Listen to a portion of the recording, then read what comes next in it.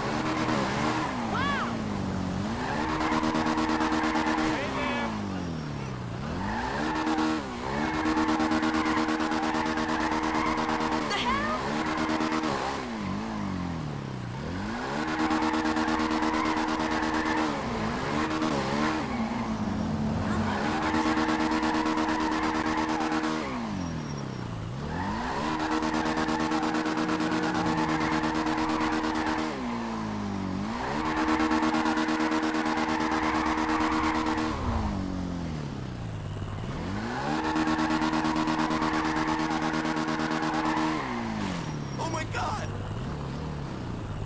Jesus Christ!